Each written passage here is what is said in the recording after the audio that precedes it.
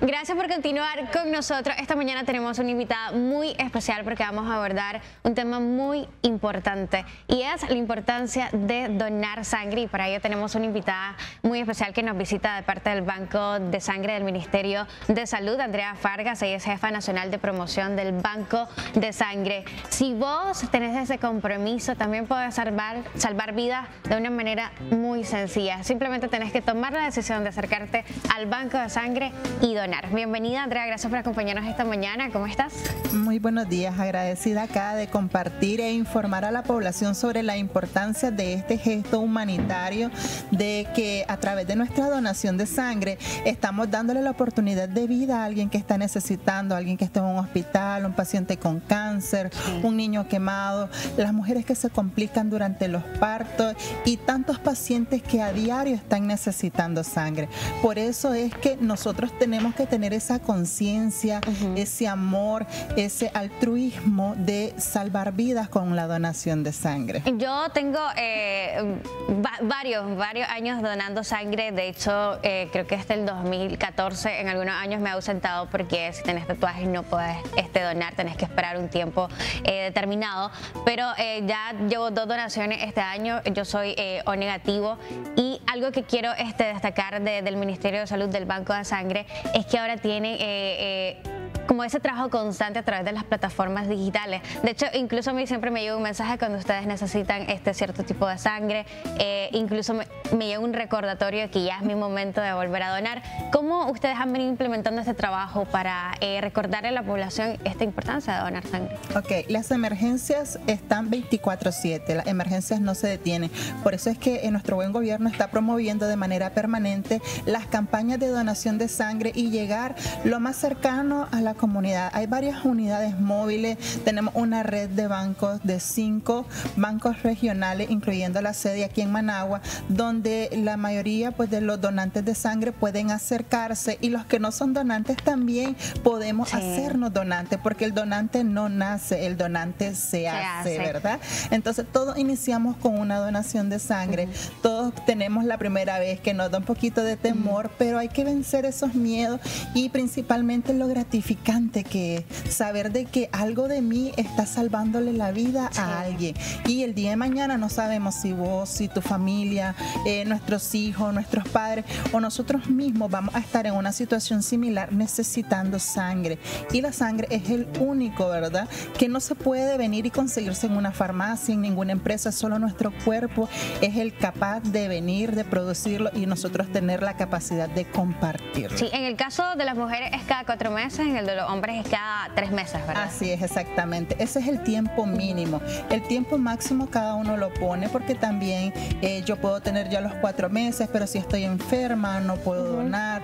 Eh, si me acabo de realizar un tatuaje tengo que esperar un año. Hay ciertas restricciones en las cuales pues nos limita la donación de sangre. Pero si tenemos alguna duda, alguna inquietud, lo que lo más correcto sería venir a acercarnos a los puntos de donación, ya sean las unidades móviles o en los puestos fijos en los bancos regionales o en, aquí en Managua en la sede que quede en el 7 Sur, eh, llegar y hacerle la consulta al especialista para que nos valore si podemos o no donar sangre en ese preciso momento y con la condición médica o con el caso X, ¿verdad? Depende de, cuál es la condición que nosotros tenemos o la duda que tengamos. Yo realmente este, me siento feliz cada vez que, me toca donar sangre y siempre estoy pendiente, ya, ya, ya me toca, ya me toca, de hecho me toca en diciembre donar nuevamente.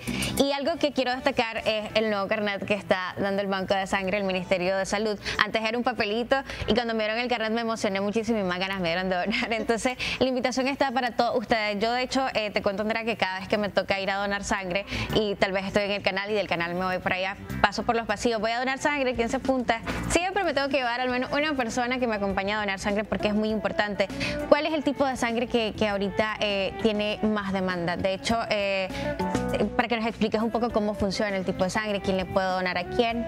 Ok, eh, así es la importancia, te felicito porque de eso se trata también motivar a otra persona. Eh, a través de mi testimonio, a través de mi donación, yo voy a venir y te voy a motivar, te voy a invitar para que juntos salvemos vida. Y eso es algo muy gratificante, es algo de que venir y salvarle la vida a alguien, Con algo que no cuesta, solamente es un poquito de temor, pero realmente no está, como se dice, pegado al cielo y podemos hacerlo un gesto humanitario.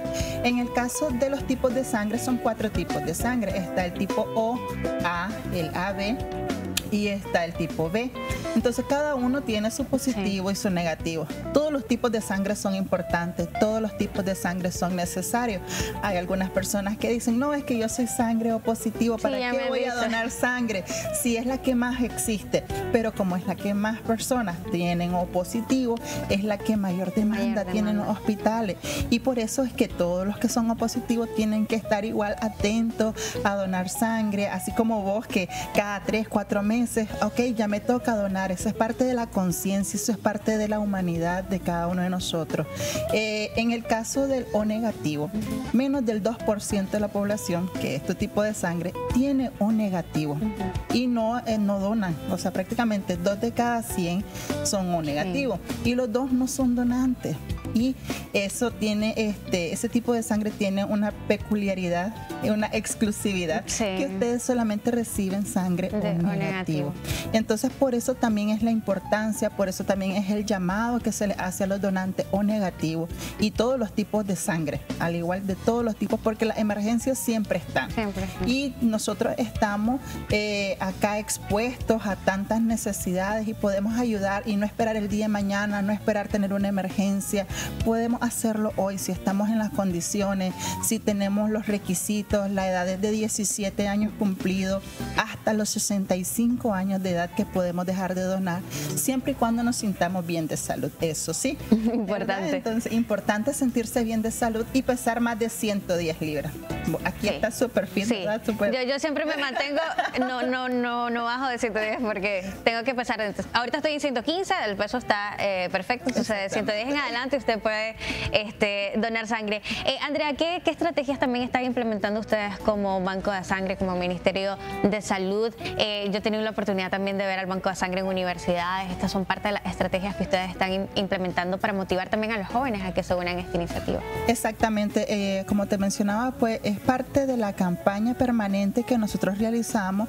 Igual solicitamos las autorizaciones en las instituciones, en las universidades, la mayor cantidad de donantes está dentro de los centros educativos. Entonces los jóvenes son los que más colaboran, eh, están ahí pues la concentración, próximamente ya vamos a estar en las universidades, acabamos de pasar en la UNAM, vamos a estar en la Politécnica, la ah, Universidad Politécnica, entonces hemos estado en cada una de las universidades, vamos a estar en la Universidad Agraria también próximamente, ahorita aquí en, en octubre, entonces para que estén atentos a, cuando esté la campaña, cuando llegue el equipo móvil, que no se queden con eso de voy, no voy, eh, será que pueda, no pueda, mejor lleguemos, hagamos la, la moción, vengamos, hagamos la pregunta prácticamente, aclarémonos dudas para que así poder dar ese, ese regalito de vida a ese paciente que está necesitando, porque todos los días necesitamos de tu donación de sangre. Nos vamos a llevar a todo el equipo de Viva la Vida al banco de sangre, nos vamos a llevar a Alexiño, nos vamos a llevar a Postosme, a Dani, a todos mis compañeros.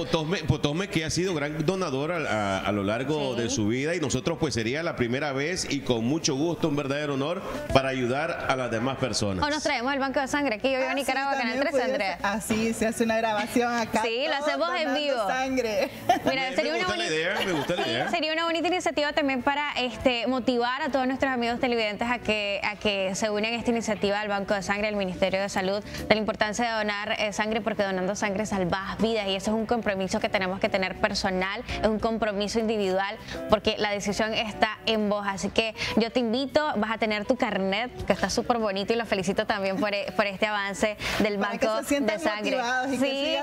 yo cada vez que voy a donar recibo mi, mi llaverito. Esta última vez que fui recibí mi camiseta también de, donante de sangre. Así que animate, eh, realmente eh, tenés que eh, ser parte de este compromiso que tiene el Ministerio de Salud a través del Banco de Sangre. Entonces vamos a platicar después por de cámara con Andrea para hacerlo acá en vivo. Y traemos el Banco de Sangre acá, que donen nuestros amigos nos está indicando que también los chicos de Control Master. ¿También quieren donar?